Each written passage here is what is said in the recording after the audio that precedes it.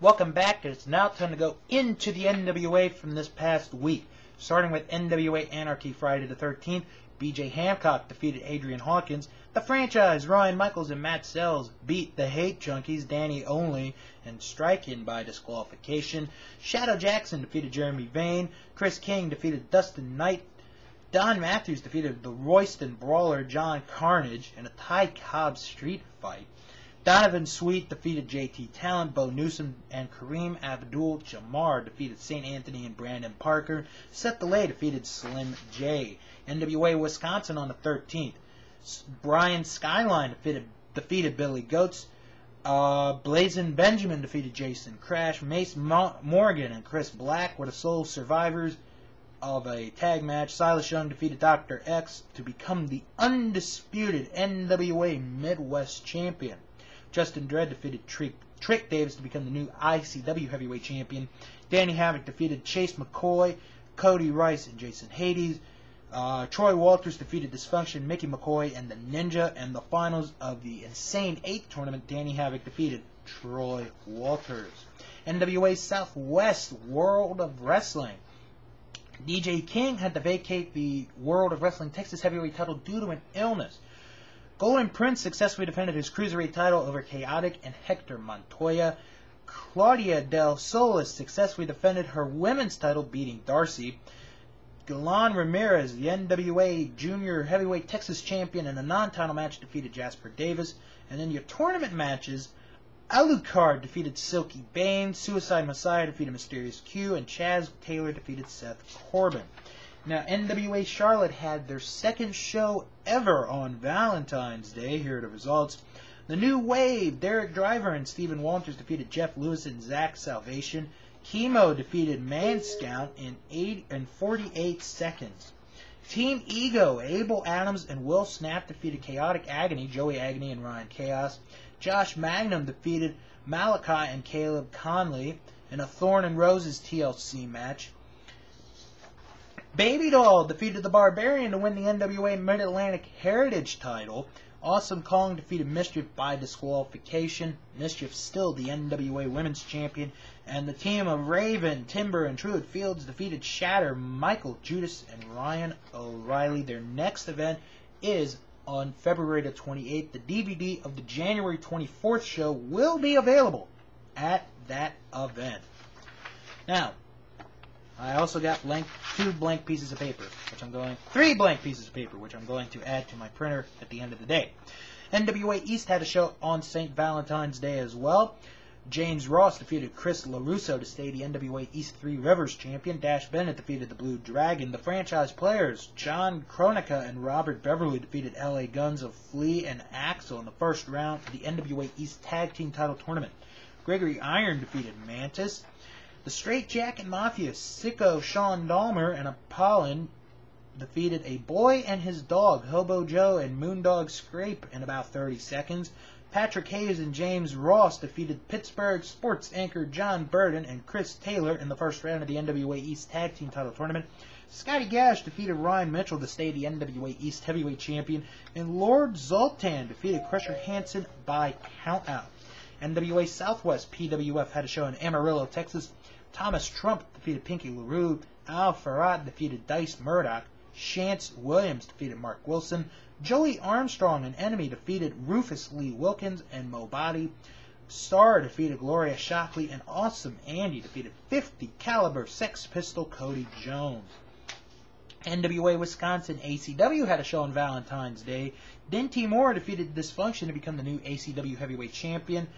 Uh, Mason Quinn successfully defended the Wisconsin heavyweight title, beating Tejas by disqualification. Mason Morgan defeated Cody Rice. Six-man tag action saw TW3, J Cash, and Douglas Do Right Peterson defeat Shane Hills, Chase McCoy, and Mickey McCoy. Dave Damone defeated Jerry Styles, and Justin Dredd defeated Brandon Hayes. NWA Pro Empire Wrestling Federation had a show on the 15th in Covina, California. Espiritu Inferno defeated the Vigilante. Aiden Riley defeated Snow Cow Club. Liger Rivera defeated Brandon Gatson and Devin Willis. Cyanide and Vintage Dragon defeated Roger Ruiz and Jeremy Jagger. Black Metal defeated Vision by disqualification to stay the EWF Heavyweight Champion. Excuse me. And Ryan Taylor defeated Damian Slater to stay the EWF American Champion and NWA Southwest South Padre Island, Texas. Ryan Genesis defeated Don Juan Diablo. Managed by Dr. Azul defeated Andy Dalton. Big Dog defeated Schizo by disqualification. Pink defeated Dr. Azul, and Ryan Genesis, Schizo, and Andy Dalton defeated Don Juan, Big Dog, and Diablo in a six-man tag match. That's the NWA for this week. Now, next week on this show, WWE, hopefully some matches announced for WrestleMania, Ring of Honor, the Indies, maybe Japan, most definitely the NWA, and another DVD of the week. I will promise you that right now. It is going to be another DVD of the, of the week. Now, speaking of DVDs, if you are looking to buy some, mainly from IWA Mid South, Chikara, AAW, First Wrestling, CZW, whatever, Smart Mark Video has a sale right now where if you order, if you order $75 or more, 25% off your total uh, price. The sale ends Saturday night at 11:59 p.m. Now, the question of the week this week the road to WrestleMania continues, and the weeks are going to wind down. Houston is hosting its second WrestleMania in as many years. This week's question of the week is In your opinion, what major city in the world that has yet to host a WrestleMania should host a WrestleMania in the near future? My personal pick is Washington, D.C.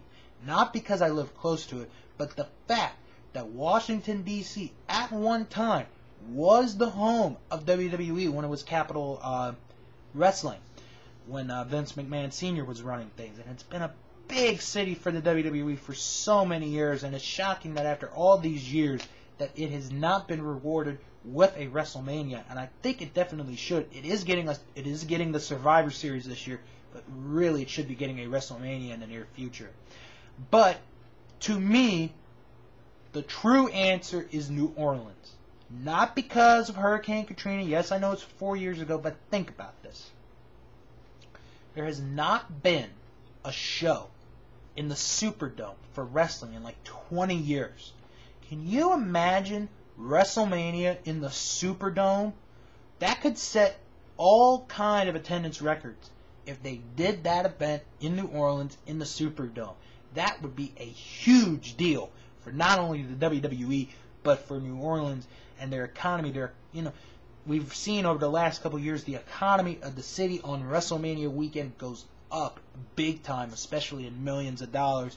So I think New Orleans should get a WrestleMania in the near future. Give me your pick of a major city that has never hosted a WrestleMania in the world. And I'll read it right here next week. Don't forget this Sunday night is the Academy Awards. The movie The Wrestler is up for two Academy Awards. Marisa Tomei for Best Supporting Actress, and the big one, Mickey Rourke for Best Actor. Hopefully, Mickey, you get this Oscar. That was one of the best performances of all time, one of the great movies of all time. Uh, good luck, and uh, I will see you all next week right here. And until then, this is Billy Yankovi saying so long from the Old Line State.